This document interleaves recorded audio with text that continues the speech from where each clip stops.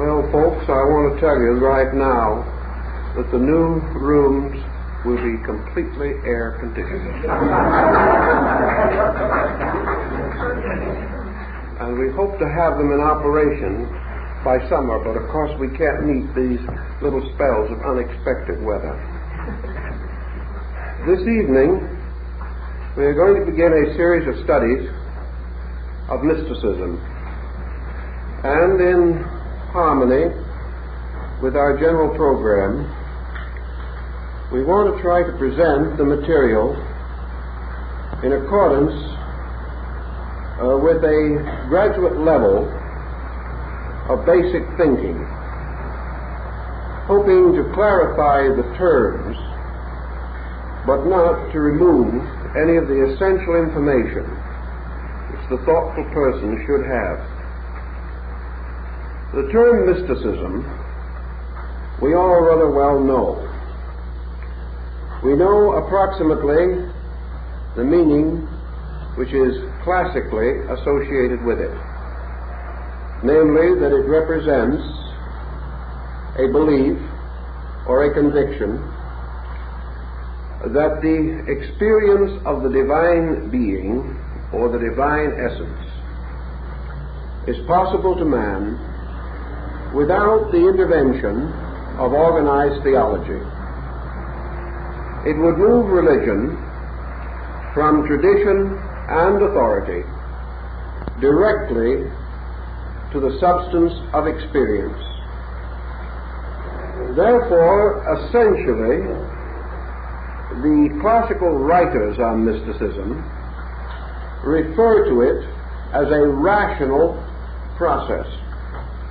As such, it is recorded in the works of Immanuel Kant, Rene Descartes, and many other philosophers, including Spinoza who have been accused of being mystics. The word has come into such general and broad usage, however, that the essential principles of mysticism have been for the most part obscured. We have placed so much emphasis upon the hope or belief that we are capable of certain metaphysical experiences by means of which spiritual truths may be brought more strongly to our conviction that we have overlooked the fact that this is not essentially mysticism. Mysticism does not exist irrationally upon a theoretical level. It is not a process of trial and error. It is not a program of experimentation and research, nor does it have as its primary purpose the development of an interior phenomena of any kind. Mysticism, in its original and classical meaning, was associated primarily with the idea that a certain way of life produced a certain result.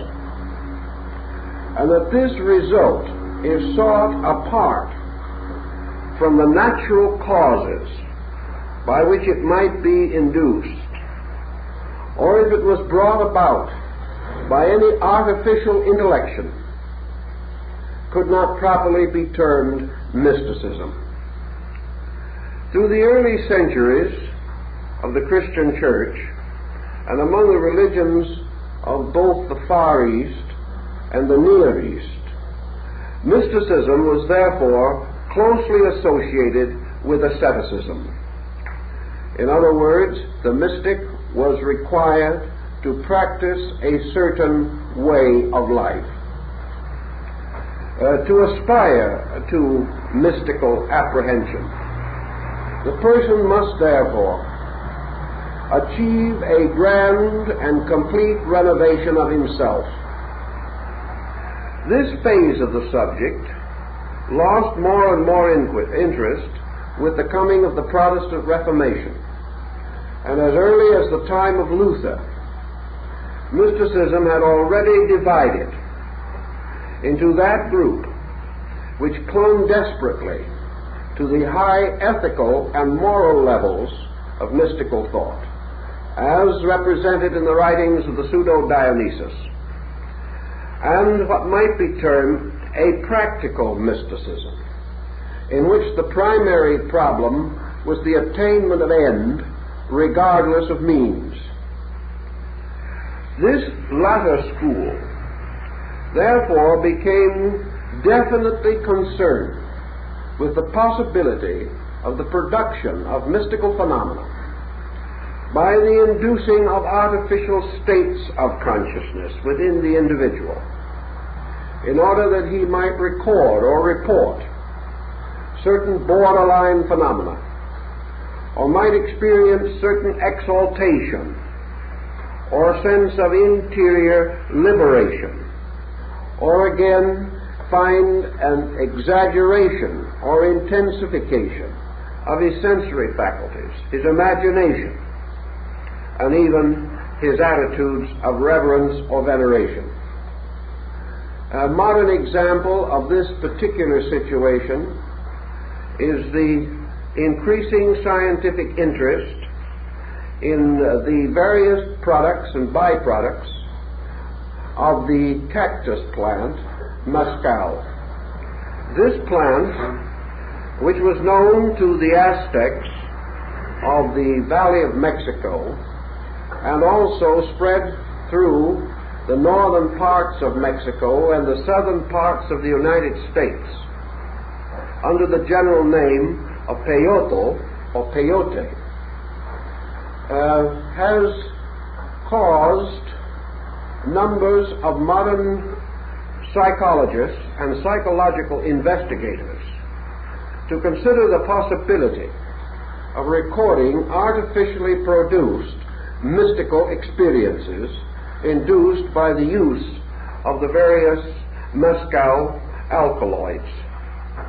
This concept has certain scientific advantages, inasmuch as enough information has already been assembled to indicate that by one way, means or way or another, certain faculties can be stimulated certain processes and functions resembling those of psychoanalytical procedure can be induced.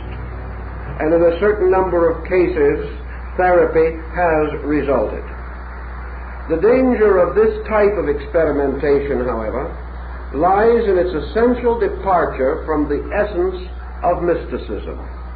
And as, as has been pointed out by a number of the early mystics, and has been again very clearly emphasized by William James.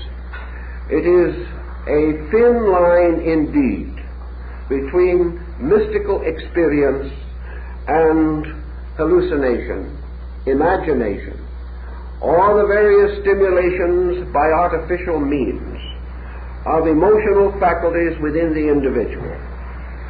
And it is extremely difficult, even at this time, uh, to distinguish between pure mysticism and a pseudo kind of mysticism in which certain phenomenal factors are present, but in which the proper condition or situation for genuine mysticism is not present. Thus, we are interested this evening in attempting to understand something of the use of mysticism in the practical daily living of the individual. And we must first of all, therefore, outline certain guards, protections, certain means of analysis, uh, certain personal defense instruments by which the individual can come to estimate the merit or demerit, the validity or the non validity of the personal experiences that may occur to himself. All experience of a mystical likeness is not true mysticism. And there is scarcely a day go by in which problems are brought to me in which various forms of pseudo mystical phenomena are reported. Uh, these experiences cannot, however, rise from true mystical apprehension. They must arise from certain psychological situations which have uh, come into focus within the subconscious life of the person. Thus, we come back to our original concept as taught in the East by Buddha and in the West by Plotinus. Namely, that mysticism has to be an effect, the cause of which must be equal to the effect produced. The cause of mysticism is neither simply well wishing or the scientific stimulation of extrasensory faculties. The cause of mysticism is a certain adjustment of human consciousness with the laws of universal existence. Thus, all true mysticism begins as a way of life. It begins as a dedication, and it unfolds according to the conduct pattern of the individual. Mysticism cannot arise in a situation contrary to itself. This does not mean that extrasensory perceptions of various kinds, as for example those uh, resulting from the use of the mescal button, that such experiences cannot uh, prove an attractive mystery. We do not deny that the individual, without the improvement of his moral or cultural life, can, under certain conditions, have experiences which transcend his ordinary functions. The question then arises how valid are these experiences? How important are they to the individual? And do they actually advance any useful purpose in his life? Authorities researching into this problem have come to the rather sober and I think sincere and reasonable conviction that pseudo mysticism has produced very little good for the small amount of encouragement or stimulation which arises from it, uh, there is a group of dangers which cannot be overestimated. The individual under hallucination of any kind is not approaching truth naturally and properly. And even though this hallucination may gratify him, may cause him to feel that he has attained a deep degree of insight. If this insight is not real, even though it may appear enjoyable or even instructive, if it is not real, it is unreal. And if it is unreal, it endangers the solid growth of the person. We have observed, therefore, that nearly all individuals becoming overly concerned with phenomena of any kind impair their own progress and arrive ultimately at a disquietude or a series of interior conflicts that may be considered essentially dangerous. A problem was brought to my attention uh, by a letter which I only received when I returned from this last trip, in which experiments were made to discover, if possible, the relationship between experimentation in psychic phenomena and the deterioration of bone marrow.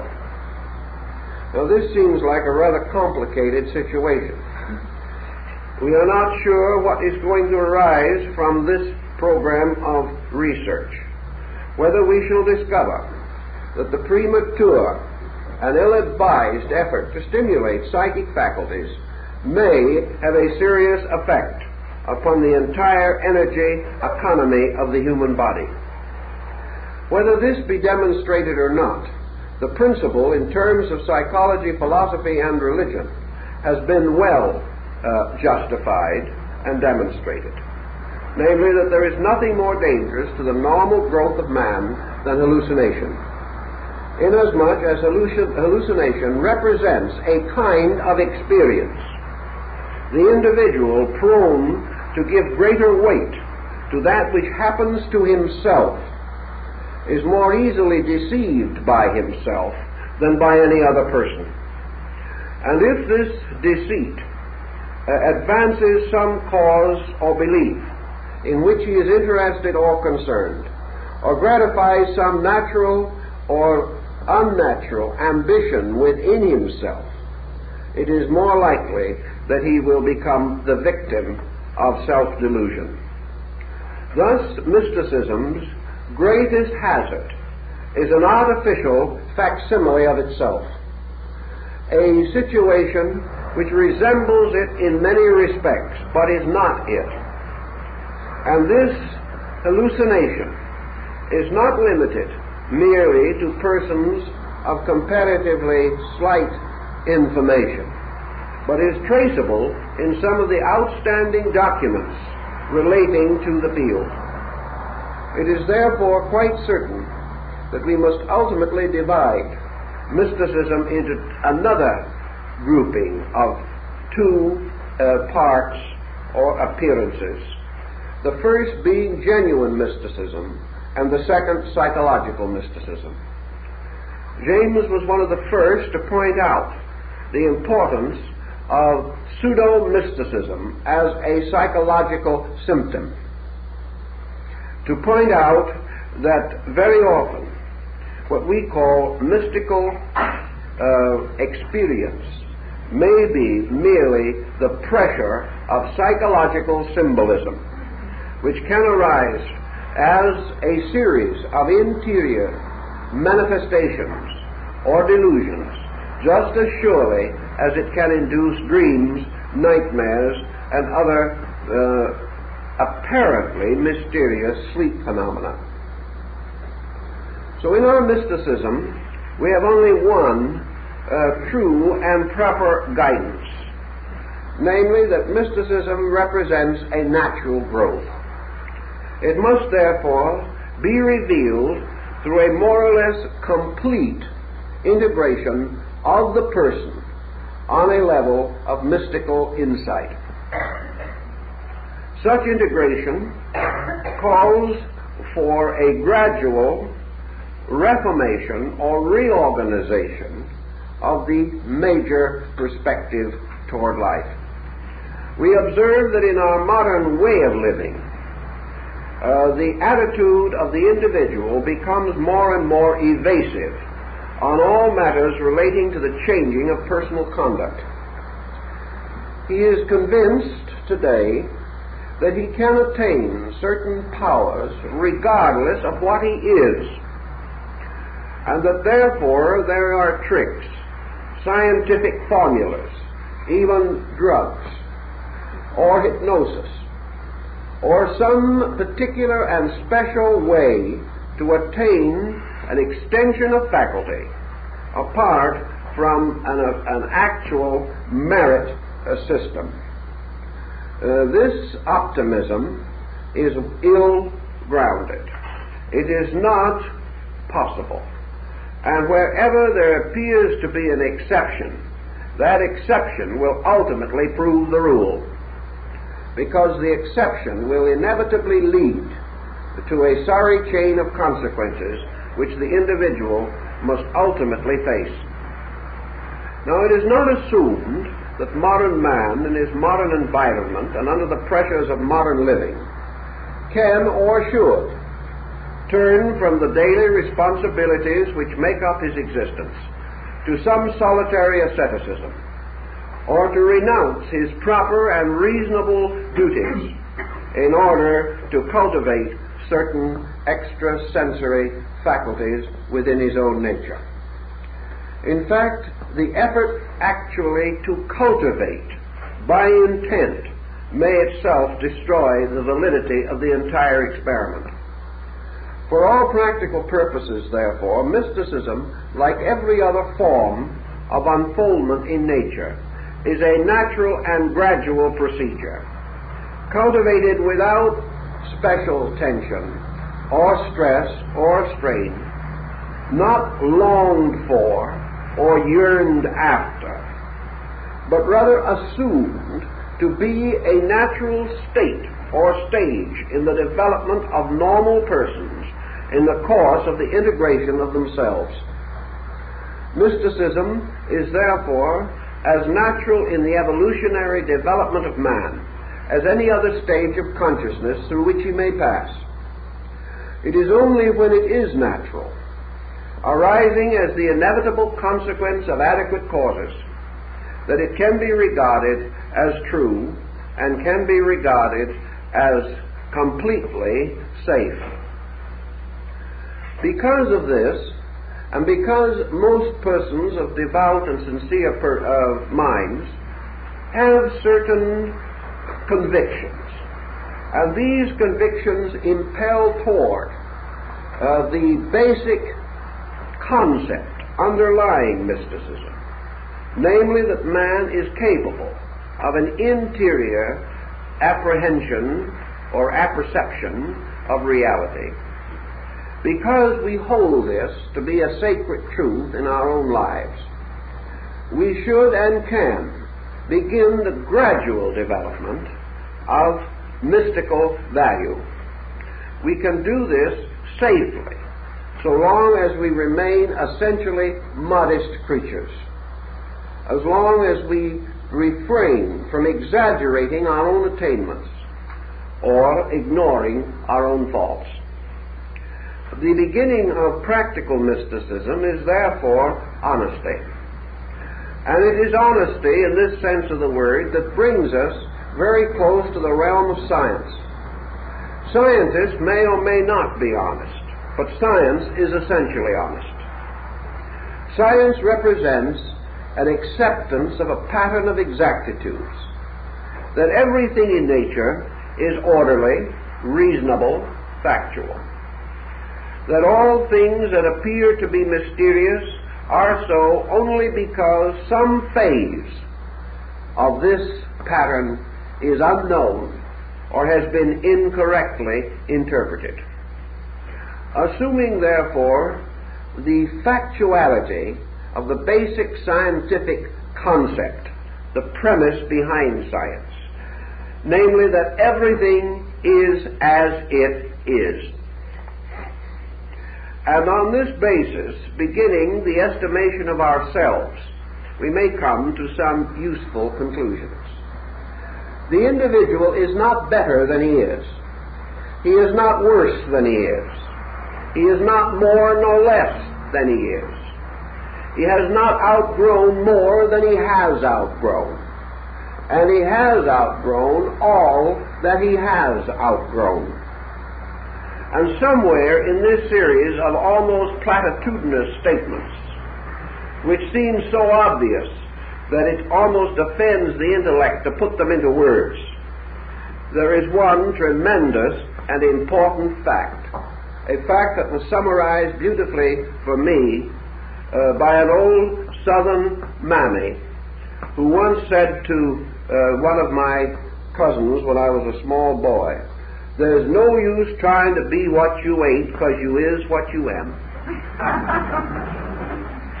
and never was greater word spoken by Plato, Aristotle, or Buddha. and our entire life, in terms of personal growth, depends upon the solid recognition of this fact. We are what we are. In addition to what we are, there are two polarities the sharp and the flat of this natural tone. One is the positive pole. We can be what we hope to be. The other is the negative pole, so to say. And this is to the effect that we do not have to remain the undesirable part of what we are. We are in constant motion and growth. A man today oriented in a very complicated world can take very basic advantage of certain of the essential concepts of science. He can recognize a complete fact, the fact of things, and that the only way that things can change is factually. And we use the term sometimes actually. And by actually, we actually mean by action. Therefore, all things which because of action are what they are can only be changed by another action.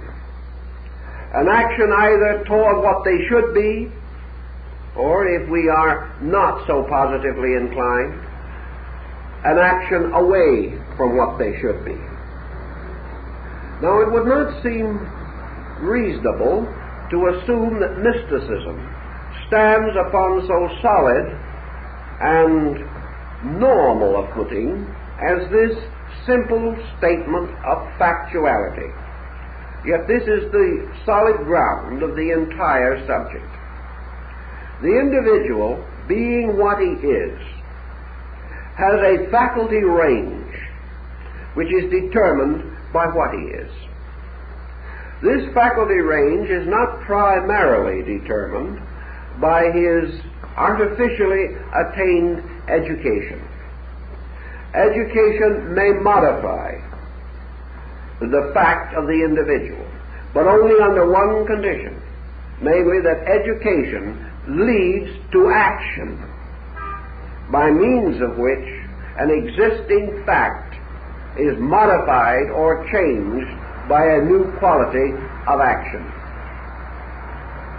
It would follow inevitably from this that the person being what he is, his faculties, his powers, and his propensities constitute instruments. By means of these instruments, he bridges intervals between himself and what he knows and all other things beside himself and what he desires to know. In order to create substantial bridges by which he can extend himself reasonably and properly, these bridges have to be natural. They have to be factual, and they have to be secure rationally and psychologically. To build such bridges is a slow and not especially spectacular undertaking. Yet it is this type of undertaking, systematically continued and um, constantly and dedicatedly advanced, which leads ultimately to new levels of sensory unfoldment. We think sometimes of the extrasensory gamuts and mystical attainments of primitive people. And we wonder why it is that some Australian bushman or some American Indian medicine priest or perhaps a Fiji islander can have valid metaphysical experiences and we do not have them.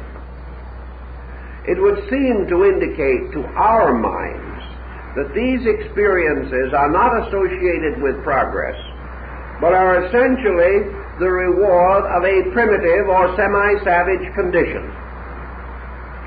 This is not uh, the truth, however. Psychologically, the truth lies in the peculiar and abiding virtue of primitive man, and that is his inevitable clinging to factuality. Primitive man lives so completely in a group of acceptances that he does not in intrude complicated psychological intellectualism on his own part. He lives very close to the factualities of life. And because he has not obscured his consciousness uh, with the various artificial factors with which our natural thinking uh, has been afflicted, he is capable of a certain psychic penetration which we no longer possess. We have built barriers of sophistication which must also be overcome. We have ceased to be natural. We have ceased to be simple. And perhaps we have ceased to be humble.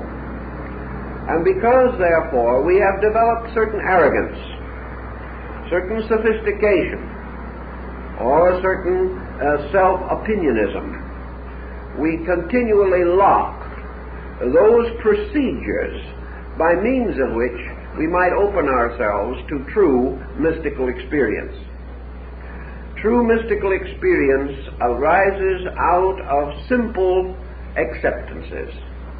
A man to become simple again must truly be born again, for he has left essential humility far behind him.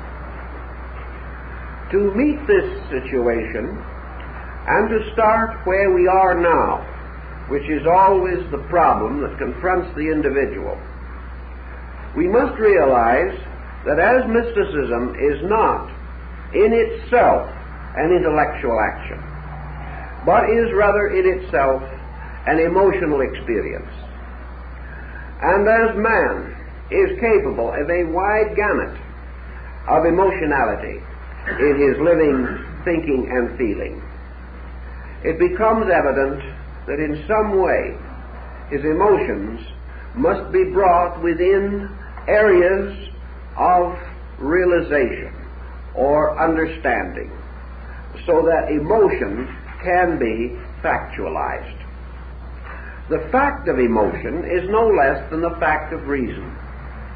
But we have come to regard reason as a positive certainty and emotion as an uncertainty.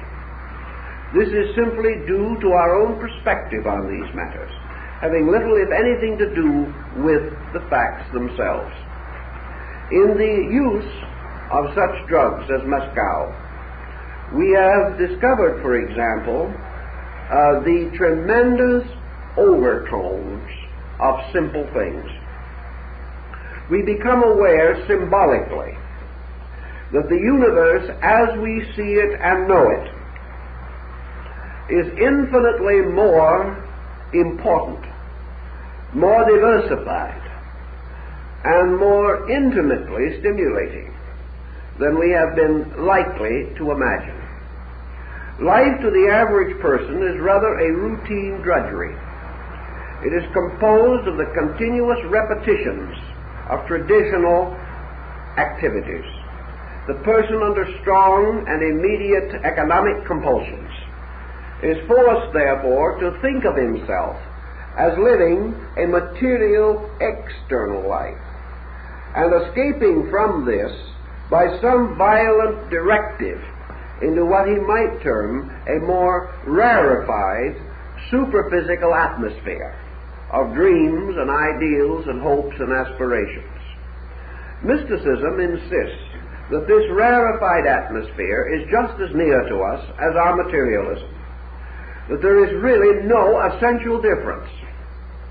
That what appears to be a difference is interpretation, emphasis, or the concentration of our attention upon only certain parts of actions or conditions or circumstances. To begin as a natural mystic, as Thoreau began, as many very quiet mystical thinkers have begun. Something in the spirit of Walt Whitman and others who have been greatly admired for a rather simple appreciation of value. We must begin by discovering fact, essential fact in the commonplace. Science can be of the greatest help to us because it can remind us that most things are stodgy and uninteresting because we do not understand them. You will find, therefore, a person who has very little appreciation of art wander by a beautiful painting or a fine example of sculpture, comparatively untouched and unmoved by it. Ten years later, as the result of interest in art, he comes back to the same piece of work and finds himself enthralled and entranced. In music, it may require 30, 40, or 50 uh, listenings to a great music drama such as Tristan and Isolde before the sheer genius of the music really reaches into us. We cannot immediately grasp these innumerable overtones, these wonderful gallidandos, or decorations of life, which are everywhere present if we pause to consider. Confucius and Lao Tzu in China both considered mysticism as the opportune pause. They recognized it as resulting from the sudden halting of the superficial pageantry of thought and emotion and the giving of the attention to meaning. For in meaning lies fact. The most simple thing that we handle every day, the most common conveniences that we know, are tremendous, dramatic things if we give them thought. But if we take these things for granted as merely part of the process of living, we move on and we take education for granted. We take po- politics for granted. We take philosophy for granted, religion for granted, and ultimately we take God for granted. Assuming that an intellectual acceptance constitutes an acceptable affiliation of consciousness. This is not true. That which is taken for granted is never known as fact. And the tendency to move over surfaces without ever penetrating into the substratums of these surfaces. Uh, this tendency is so strictly and totally Western, and most of all, so completely contemporary. It is our way of doing things, excused under the broad statement that we have no time. Actually, the individual who superficially employs his opportunities has no time because he has wasted all of it. And to become more thoughtful and more penetrating is of the highest importance. A good example of this would be uh, the day of the average person. He may rise and uh, on his way to work he may get into his car.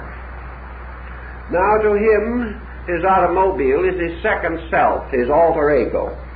He practically lives in it and his home is merely a detour between the front door and the garage. He practically is as attached to his car as the ancient Mexican Indians thought that Cortez was attached to his horse. They were one being, a kind of unicorn. Perhaps man is a uh, automobile human kind of composite being. Yet, although he depends upon this automobile and is continuously bewailing the costs of it, is continuously uh, unhappy over the me- mechanical bills that arise in connection with it, man has never realized or appreciated that most of the essential laws of universal dynamics are locked up in his car. If he understood his car completely, he would understand the universe. It is an ever present text revealing hundreds of principles, working together, brought together. Yet the minds that conceived and united these to form this modern monster of convenience. Actually, these minds were following archetypal laws. And if there is anything in the design of a car or its motor that is not true, that is not factual, the model will be shortly removed from the market because it will be unsatisfactory in action. Thus, we have in this car principles which explain to us many, many of the deepest problems of biology, many elements of physics, mathematics, chemistry. And we discover how these various parts of knowledge fit together to produce an astonishing utility, one of the outstanding devices created by human ingenuity. yet created only because the inventors, down through time, have been practicing copying fragments of nature. They have found again and again rules and operations naturally occurring, which have given them the key and the guide to the creation of this car. Experiments in aviation have followed the same rules. The aeroplane, from its most primitive developments uh, to its most advanced period of jet propulsion, is a story of the universe. It is a story of life, of law, of fact, and of the infinite combinations of principles by means of which certain specific and definite ends may be attained. Out of the consideration of such things, including the washing machine, the curling iron, the electric toaster, the woolen fabrics of your clothing, uh, your glasses, your ballpoint pen, paper, silk, rubber, housing, walls, roofs, heating, ventilation. All of these things exist simply because man has been able to combine natural facts. And the reason why one man invents these and another does not is that one man becomes aware of a fact and in another person, this awareness is not equally stimulated. Thus, life is continually confronting us with symbolical representations of value, of eternal fact. There is an old Greek Roman study of ancient sewerage systems based upon the study of the arterial circulation of the human body. So we adapt one fact to another need. And if our adaptation is correct, the new need is satisfactorily met. But if in this adaptation we depart in any way from fact, we shall ultimately regret this departure, whether it by intent or ignorance, and we will correct or reform our device until it once more functions properly because it is factual.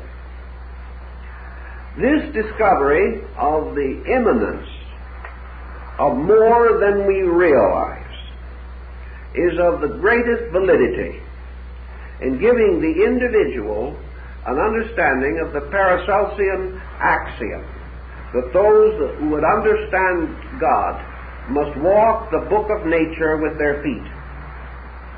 In other words, they must recognize uh, the immanence of eternal doctrine. And they must recognize man's intellect or his consciousness as an unfolding process of acceptances, of discoveries leading to uses. And that what we call inspiration is becoming aware. It is the breathing in of universal reality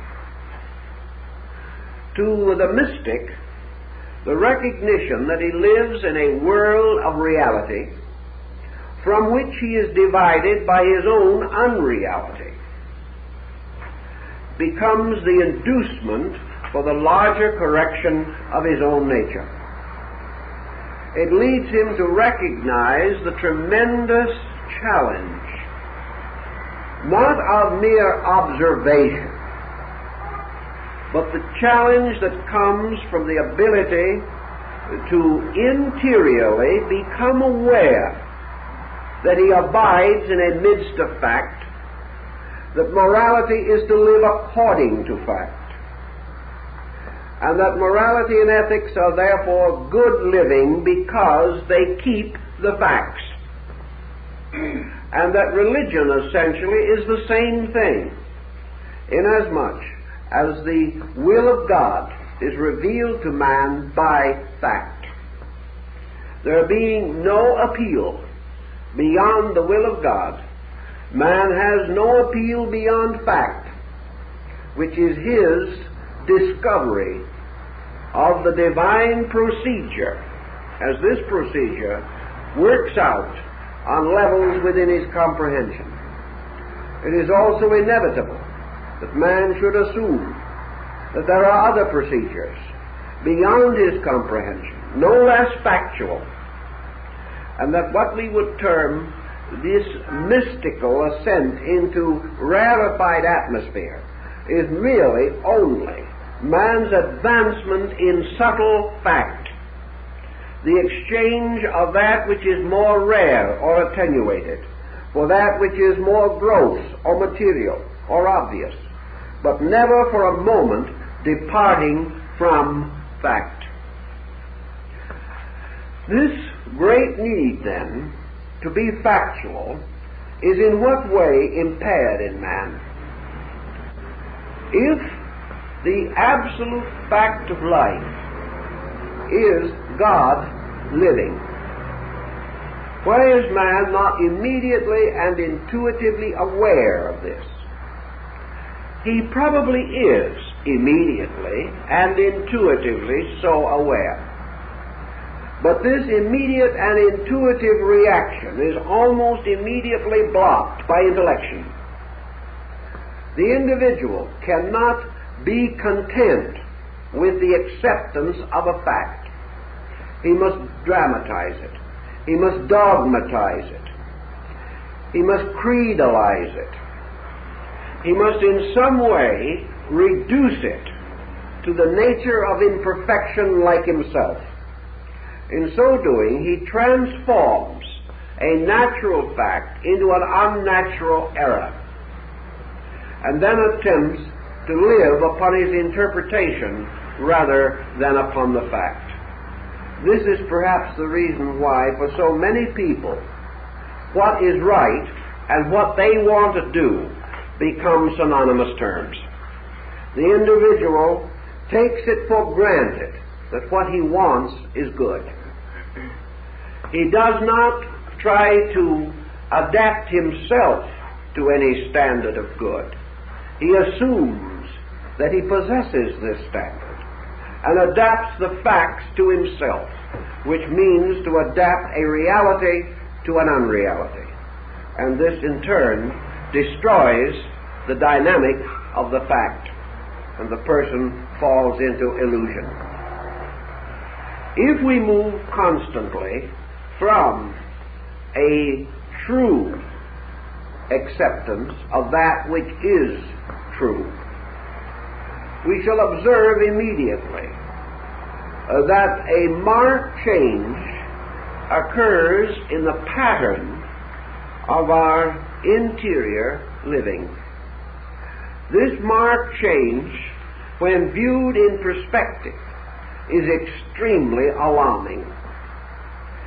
The first alarm comes when it occurs to us that if there is a difference between what we want to do and what we should do. The achievement of virtue arises through the inhibition of our natural desires. Small children arrive at the natural conclusion for them that if it's pleasant, it's wrong. If they like it, they shouldn't do it. And if they are enjoying it immensely, it is approaching the state of mortal sin. The person normally, therefore, divides his life into what he wants to do and what he should do, and regards these as dissimilars. In the light of fact, this is an error to start with. He has no such choice. He has only the choice of accepting the fact or coming under the penalty of illusion. If it were possible for the individual to live without fact and live well, the entire ethical and moral, moral structure of nature would collapse. But it has been demonstrated since the beginning of human intellect that the person cannot do this, regardless of all his optimism and his incessant trying. And, of course, it is obvious that the subject has been given adequate exploration and adequate experimentation. Man has tried every evasion conceivable. He has made every mistake possible. And he has assumed every evasive action or attitude within the gamut of his capacities. And still, he is unable to escape factuality. Is unable to escape the foundation upon which all things must be built. This may seem to be a long digression, but it is not. It is not because it is the foundation of mysticism. Mysticism is the gradual discovery of fact. Each degree of discovery leading naturally to a corrective within the individual. The mystic is simply a person who tries to apply what he knows and also tries to continually increase his knowing in order that he may apply more completely. The end of his search is not that he shall attain knowing, but that by a degree of knowing he shall attain a factual existence, an existence without alarming error, subterfuge, or deceit, likely to detract from his ultimate integrity.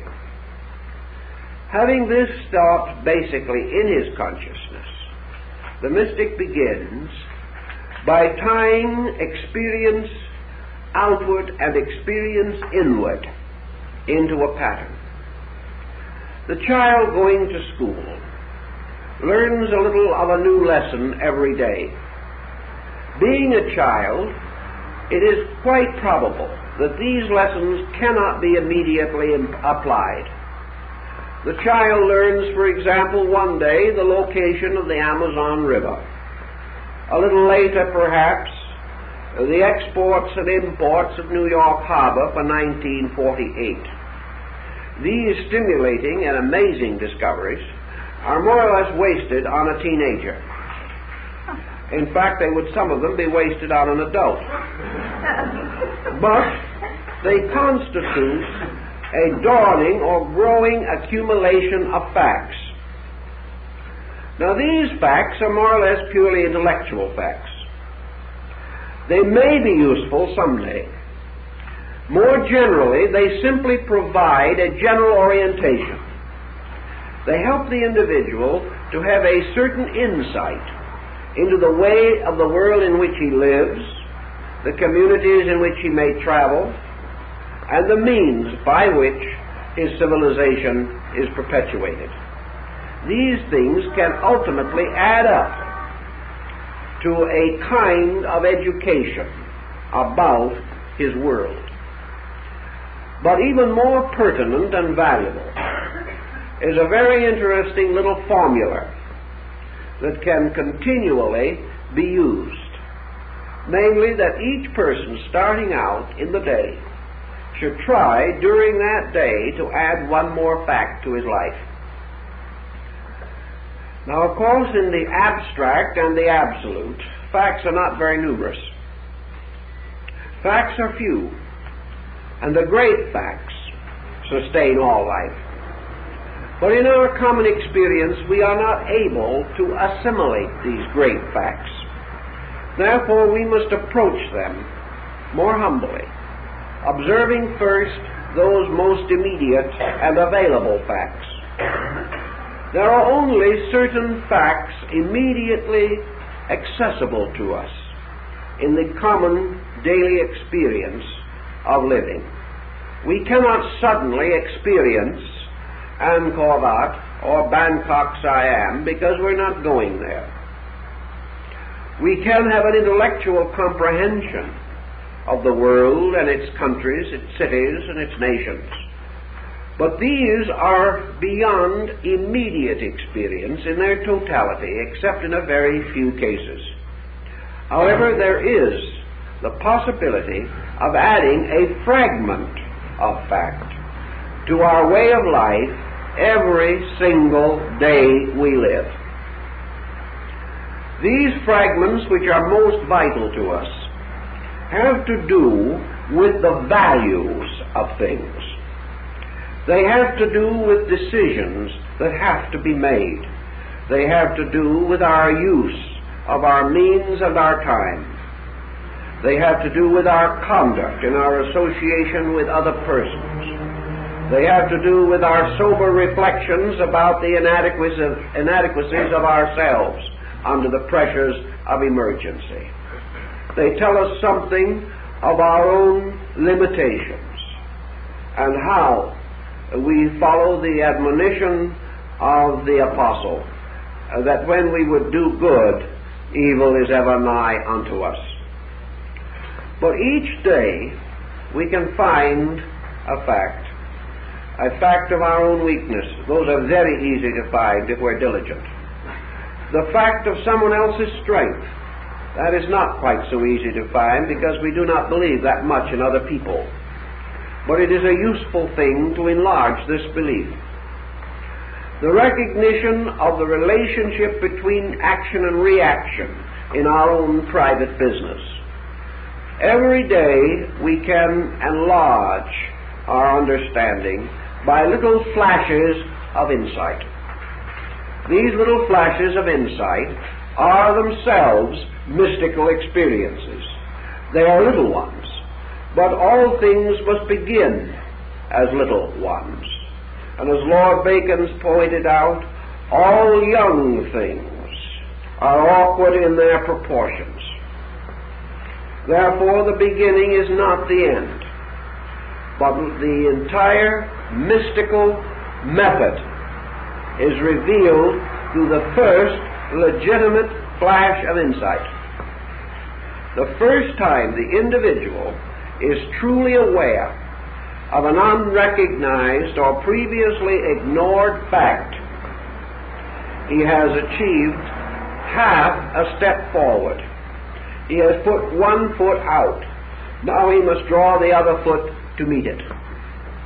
The second half of each step is the application of this newly discovered fact to an internal experience within himself and are not used.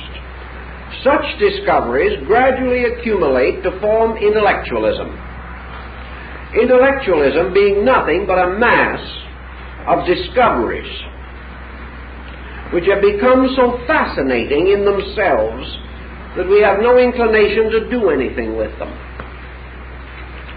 Facts that are held for their own sake alone.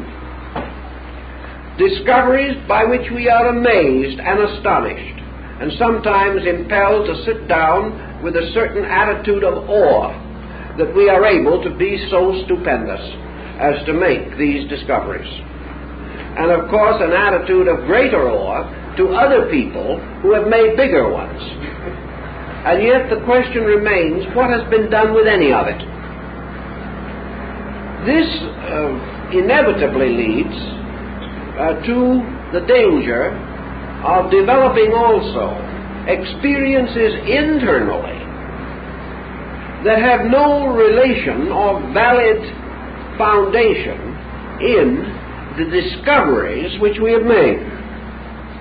It is a mistake to take a discovery and do nothing with it. And it is a greater mistake sometimes to take a very small discovery and try to do more with it than the facts justify. The moment we depart from the fact or de- depart from the natural boundaries of the discovery. We pass from valid experience into an invalid kind of experience, an experience which becomes experimental, becomes over emotional, over intense, and by trying to transcend the discovery which we make, we may land in hallucination or fanaticism both of which arise uh, from conduct, intense, but not sustained by discovery. Discovery always implies that we have perceived the working of a law. And having satisfied ourselves that this law operates and is valid, we then take this law unto ourselves and into ourselves and incorporate it into our pattern of conduct regulations. If we do this continuously, gaining a little insight every day, and through this experiencing a little more from within ourselves every day, we shall move interiorly and exteriorly in harmony and in proper relationship. There will then be no conflict between the material person and his supermaterial interior life. Conflict arises from the material nature of man moving in one direction and his aspirational structure moving in a contrary direction. If these move together like two feet, carrying the one man along, each step measured by the counter step, each move balanced by an appropriate move of both parts of the moving equipment, then we have the person progressing, growing, unfolding according to the natural way of life. Under such growth, what we commonly know as self-delusion is almost impossible. This does not mean that we can begin and immediately eliminate all errors, or that we can transform ourselves from the sinner to the saint in a night. It means, however, that for hope and for optimism, we are substituting a factual procedure derived from nature, supported by conscience, and justified by interior and exterior experience. Moving in this way, we, we move with propriety. And if we study mysticism, we shall discover something of the direction in which this motion usually leads us. A motion which has been recorded in the lives and characters of innumerable persons of varying degrees of interior enlightenment. We observe, of course, among all these persons a gradual diminishing of certain aggressive attitudes, attitudes which in themselves and of themselves are obviously not factual. They are not factual because we discover, if we become attentive, that these processes produce ill rather than good. And if by our works we shall know them, we cannot justify that which does not justify itself in action.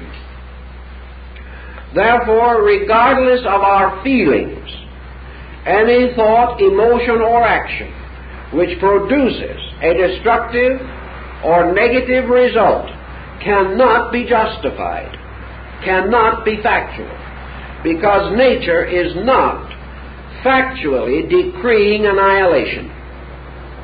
Nature is attempting continuously to rescue things from the tendency which they possess to destroy or injure themselves. If we attempt to rationalize and try to indicate that ends justify means, that in our way of life it is impossible for us to practice certain virtues revealed to us as factual by our own power of experience discovery. If we annihilate or assail the right of these facts to dominate our own conduct, we then place ourselves in a situation which is likely to prove completely detrimental. We observe, therefore, that if a pattern of living is not producing in the individual uh, a reasonable similitude of that which he desires with rightness of desire, or that which he intuitively apprehends to be right, or if more obviously the things that he is doing are producing detrimental, negative, or destructive results upon himself or others, then his experience discovery mechanism demands that these things be changed. The discovery mechanism shows him that he is wrong. Further discovery mechanism, mechanism may give him some insight as to what is right. He cannot depend upon right being in this case an action opposite to wrong. He can only assume that right is an action consistent with fact. But if he discovers that an action within himself is producing nothing good in himself, what defense has he for the continuance of it? If this defense has to do only with the continuance of the general pattern of his habits, then his position is indefensible. He must determine in his own nature certain values, and he must attempt to rationalize the means of attaining them. Now, we all know that it is extremely difficult to change the outward structure of society around us we also know that it is extremely difficult to change the attitudes of persons with whom we must have certain continuous or occasional association. Therefore, our adjustments, factually speaking, must in every instance be an adjustment of discovery and experience in relationship to ourselves. We cannot expect or require that other persons will share our insight. We can only hope that in the due course of time, they too will be led to the path of fact, uh, fact discovery and experience. In the meantime, however, we have decisions that have to be made. These decisions today are becoming more pressing than ever before. And it is because of the pressing nature of these decisions that we have this tremendous upsurge of mystical living and thinking, ranging from the restoration of faith healing in our churches to the cultivation of Zen Buddhism. This tremendous gamut is a reflection of man's personal acceptance that he has discovered his own inadequacy. Now, this discovery is factual because he must live with himself. He finds he cannot or that if he manages to endure the association, it is incomplete, unsatisfying, and even unfriendly. Through the discovery, therefore, of the fact of maladjustment, he is confronted with the challenge of applying this discovery directly to the interior mechanisms of his own experience. He must then decide simply and directly whether he will continue in his way and expect to bear the consequences of his error, or whether he is becoming weary of this relationship between cause and effect and is inclined to attempt to remedy the situation. The tendency to remain as he is uh, satisfies a static nature quality which he possesses. It seems to be the line of least resistance, or the line of least decision, or perhaps the line which might, to the least degree, curtail certain satisfactions which he regards as partial compensations for insecurity. For instance, he may be perfectly aware that his way of life is likely to bring him to the grave prematurely.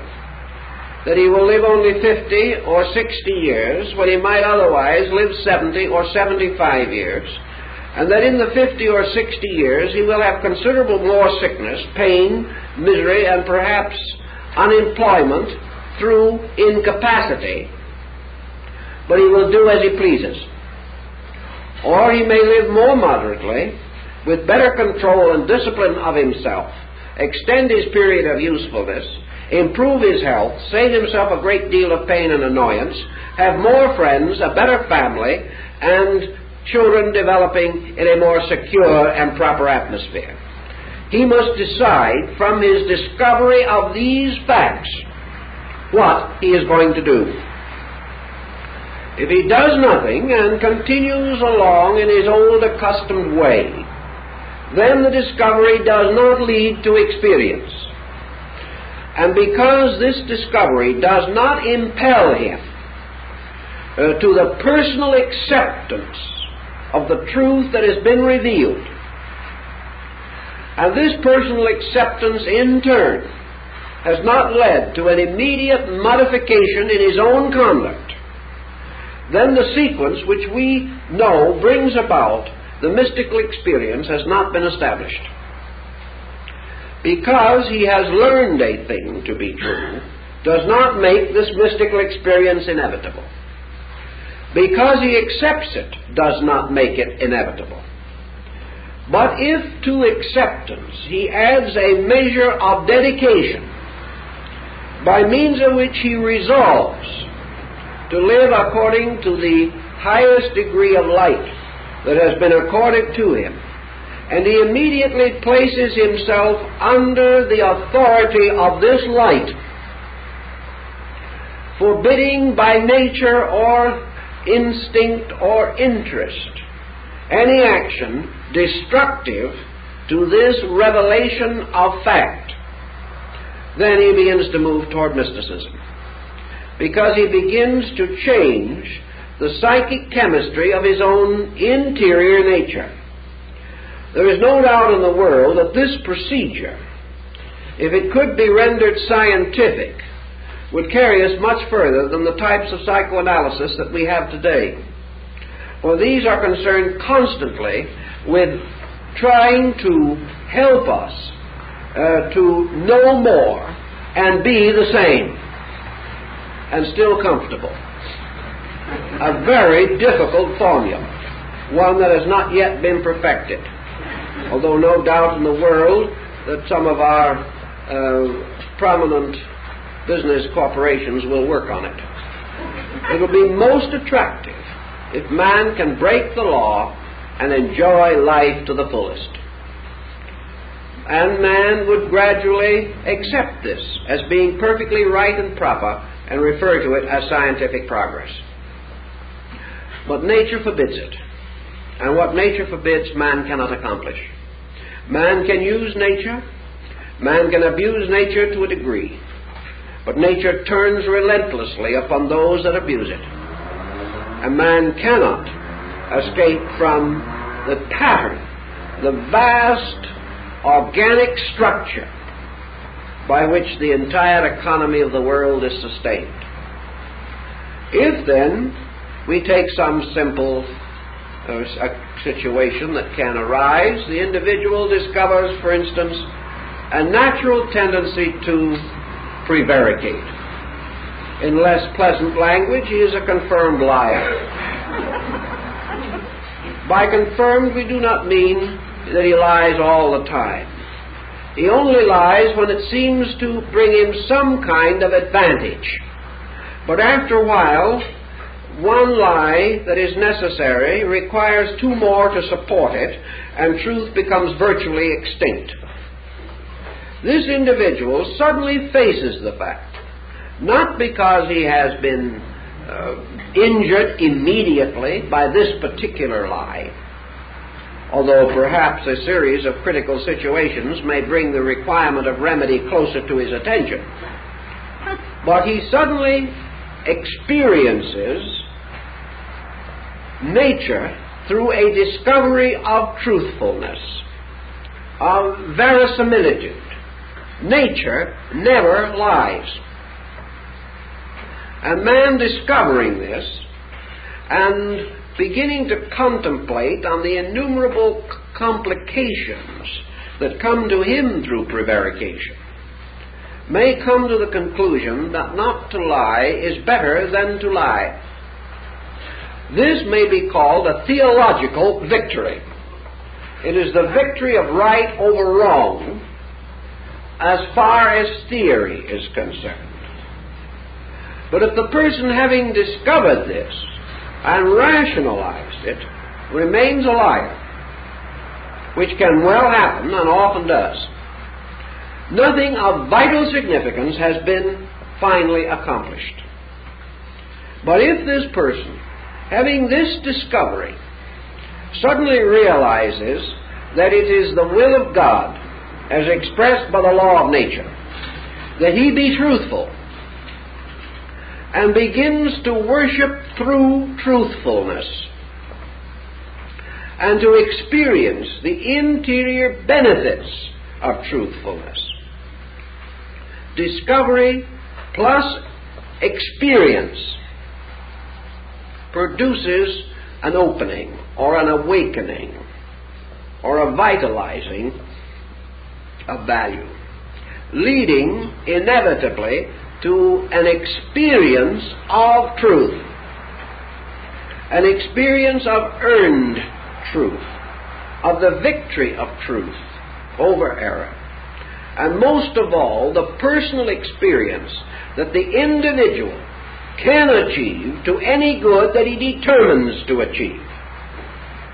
And that through this achievement, he opens his conviction to further achievement and discovers in the long run that his truthfulness is a tremendous improvement in the total pattern of his probable happiness, security, and friendliness. Out of this new relationship, he experiences a closer relationship with the plan of life, with the purpose of things as they are. But this relationship is not possible while the individual who believes in telling the truth still lies.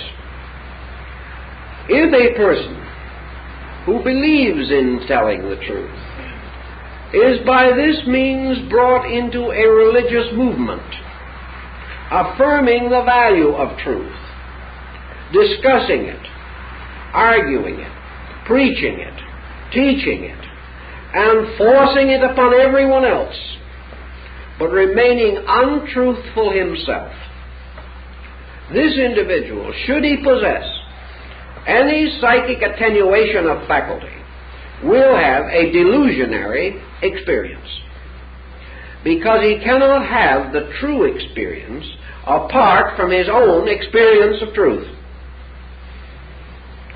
Mysticism, then, is this continually unfolding experience of value.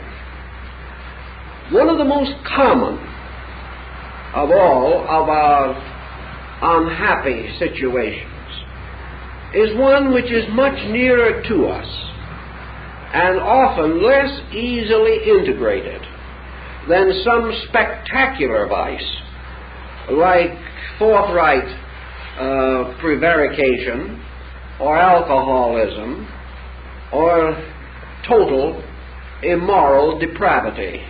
These things are so called large problems. But these large problems never have to really be faced as such because they are nothing but accumulation of neglected small problems and ultimately have to be so dissolved. But we have certain basic problems. And the most basic problem that we all have, and the one that stands between nearly every person and the beginning of mystical apperception, is the problem of personal non tranquility. You can say that it is due to any one of a hundred different circumstances and factors. But we have the very difficult situation of the person who is not really bad and at the same time is not much good. Uh, this taxes our ingenuity. Because when you try to say to such an individual, you are wrong about this, they look at you so innocently. the little mistakes that they make should certainly not be held against them, especially when compared to the large mistakes everybody else makes. So non tranquility, which is just a certain general disorder, a kind of disorder uh, that corresponds in physical symptomology uh, to uh, a, what they used to call a pining condition. In the old days, people who did not feel too well either pined or had a misery.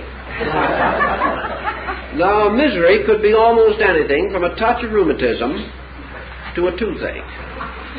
But a misery was just not feeling good. And in our problem of fact and unfact, or non fact, this problem of the misery is this situation of the individual who is just a little miserable all the time, or most of the time, and has a pathetic look of unbelief on their faces if for a moment they are not miserable. These individuals are made up of the world's good hearted people, the well intentioned ones, the ones who are so well meaning that it just seems terrible to say anything unkind about them. But this type of negative non adjustment can and does block nearly all of our positive efforts to grow spiritually. And a person in this condition of perpetual misery, trying to unfold religious convictions, or to advance spiritually, or to cultivate extrasensory perception, is in the most deplorable, miserable condition of all, because he is in constant danger of hallucination. The hallucination does not seem as though it should naturally follow. After all, he's only a little bad. All right, nature is just. He only has a little hallucination. but a little hallucination gets very much larger when we think about it. The hallucination rapidly develops overtones much more than the little badness with which it was associated. And most persons who have this kind of hallucination include in it the strange imagination or fantasy which would insist that they are better than they are, which is the most comforting form of fantasy, and very often paralyzes any further effort to correct the cause. The individual promptly forgets the cause, forgets his own needs, and dashes off in the service of some hallucinational uh, destiny which he feels awaits him in larger worlds to conquer. So, this problem of the small misery is one thing which is so frequently overlooked, so consistently denied, or excused away with a gallant gesture. Here is the common problem of mysticism in relationship to life. It is also the problem of life because most people are not very bad and not very good. And it is out of this general dilemma that many of our most terrible tyrannies have arisen. The moment we recognize that we have a certain number of faults, even though they be minor ones, our fact discovery must go to work on them. It must recognize that religion, in terms of mysticism, is the systematic rededication of attitudes and impulses so that they become useful rather than useless, that they become, even in smallest matters, basically constructive, and that there is a clear allegiance in which every resource that we have is dedicated to the best use that we can make of that resource. Now, this does not mean that our small virtues are dedicated to some vast project. It means that small virtues are dedicated to small, necessary, immediate ends and that through the continual experiencing of these, they add up. And a few years of careful recognition of the principles involved will and usually does bring about a marked increase of apperception on the part of the individual.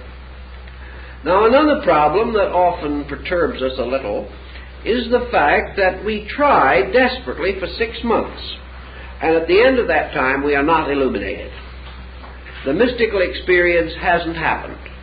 Therefore, the bottom is out of the ethical universe, and we go on uh, without hope, uh, giving up any tiresome project that seems so rewardless. A few years ago, under this type of situation, the individual always changed teacher or joined a new movement. it was obvious that he wasn't getting anywhere. But where was he trying to get? What he had hoped to do was to take one ounce of base metals and transmute them into a ton of pure gold. He was entirely out of his depth. He did not re- realize that if his procedure was accurate and correct, he was developing his mystical uh, apperception, whether he realized it or not. This uh, apperception was not sufficiently strong to open the heavens until they resembled the vision of Dante. These uh, achievements were small achievements which he magnified because it is so difficult for the average person to do anything well. If he has one victory, he feels that all the universe should pause and admire it. Actually, his reward was that with each discovery transmuted into experience action, he gained a little greater skill in further discovery that if he did not falsify his own records, he would find that as the result of correcting even one minor peculiarity of disposition, he had a new orientation on life. Perhaps not vastly new, but an orientation that gave him control of some situation, gave him insight to some degree that he did not previously possess. Thus his journey, beginning as it must with the single step, continues, and each step is a single step. But a man taking enough of them finally comes to the end of his journey. The end of the journey, like the beginning of the journey, is also a single step. We have become so hopeful that we could jump over vast hurdles quickly, then believe definitely that in a few months we could attain victory over sickness or sorrow or despair of one kind or another, that we simply fail to observe nature's way. We have not discovered the facts of this situation. And because we have failed to discover the facts, we have interpreted them wrongly and from this wrong interpretation have come to our own despair, our disillusionment, and our sense of futility. Beginning then to think in terms of scientific mysticism as the Greeks and early Christians understood it. Asceticism is merely a term for unworldliness it has nothing to do with an individual going away and living alone in a cave. Asceticism is the individual creating a code by means of which he refuses to compromise principle for advantage.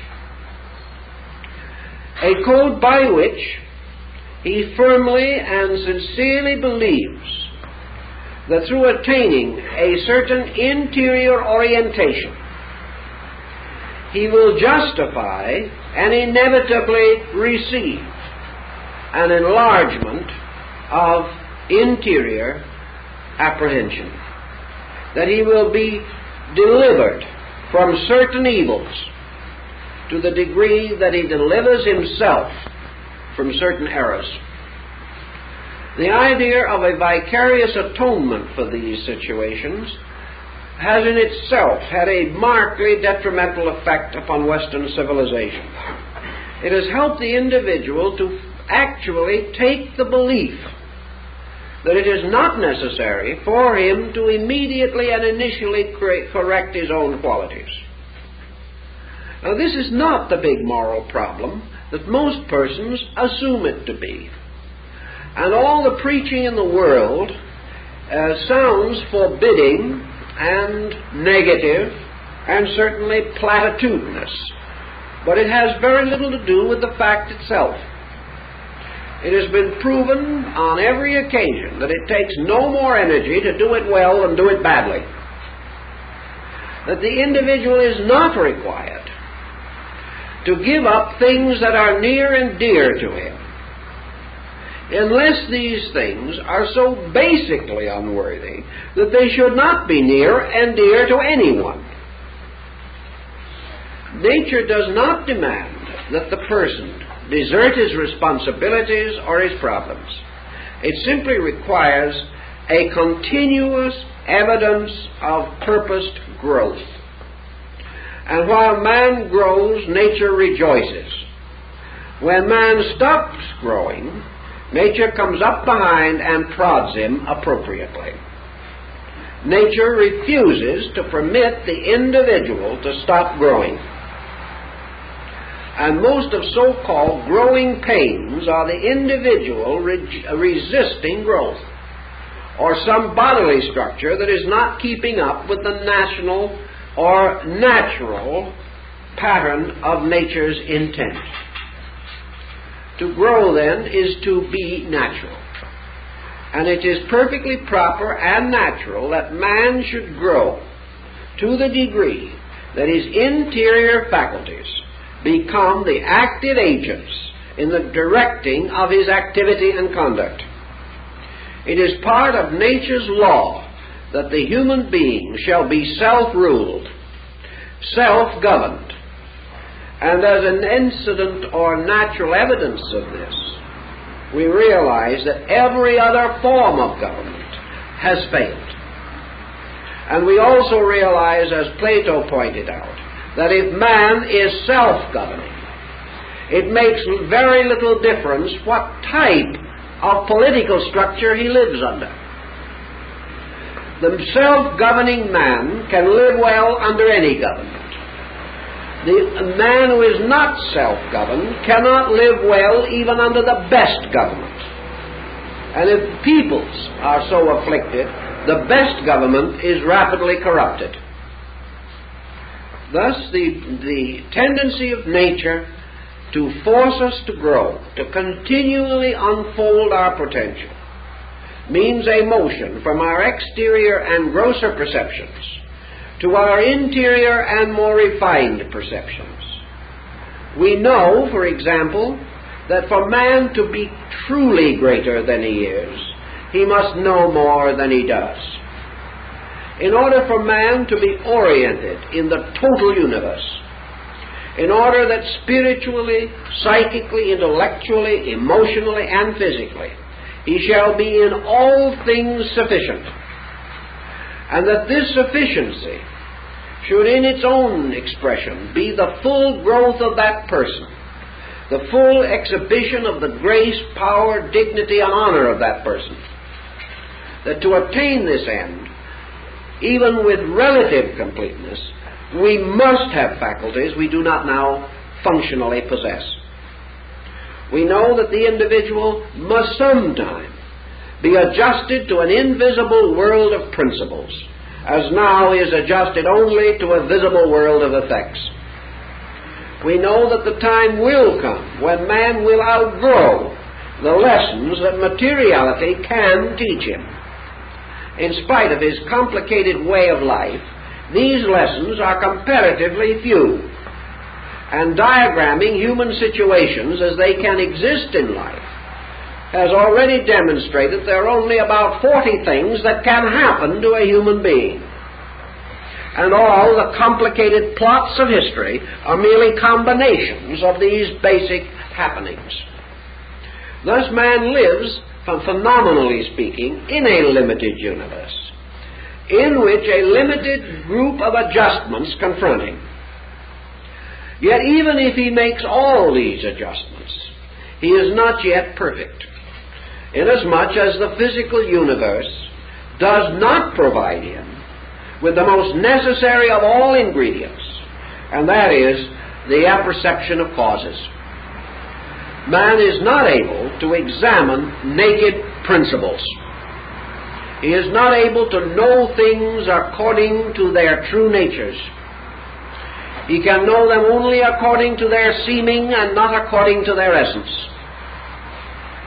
But man, in order to attain to the full expression of his own humanity and reach upward towards participation in his own divinity, man must have more faculties, more powers, more abilities than he presently is able to use.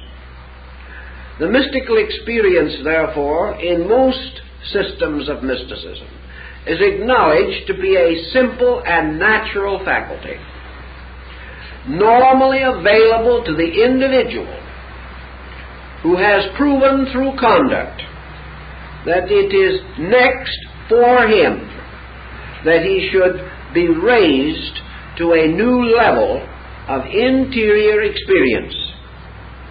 That new kinds of universal facts must be revealed to him in order that his own growth can properly continue.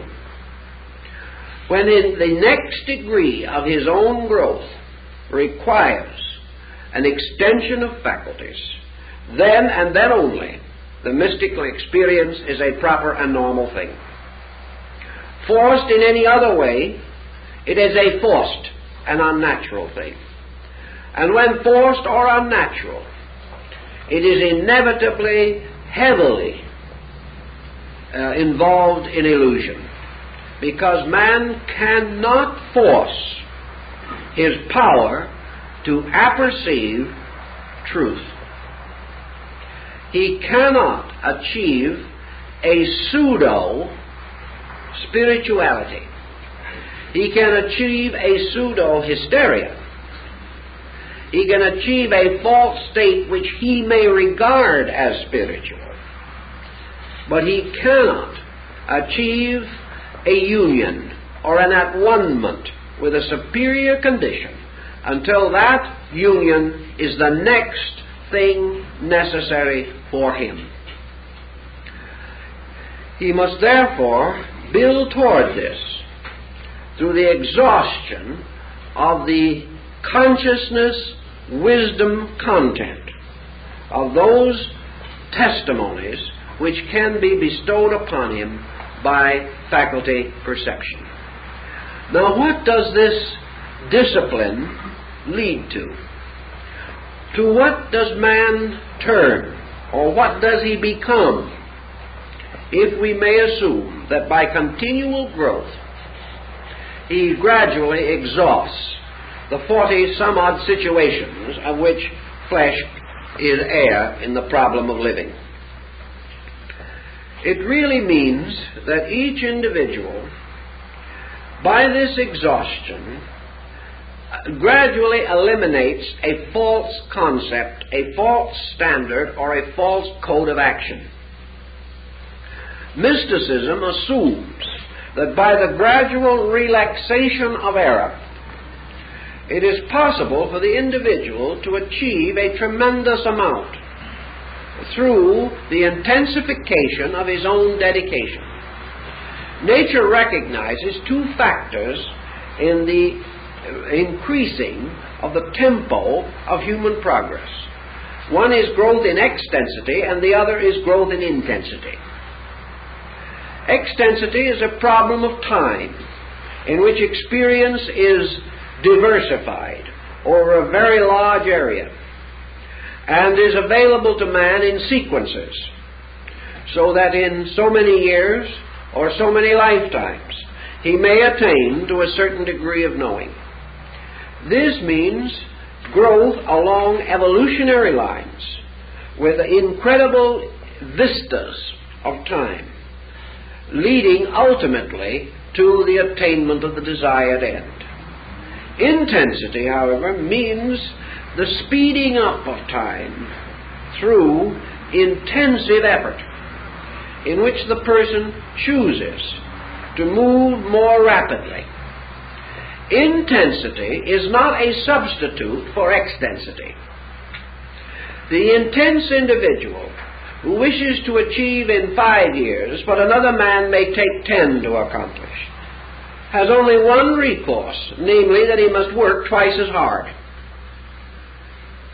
He cannot attain this end until a measure of achievement required has been attained or achieved. Therefore, as Euclid of Megara said, there is no royal road to learning. There is no royal road to illumination.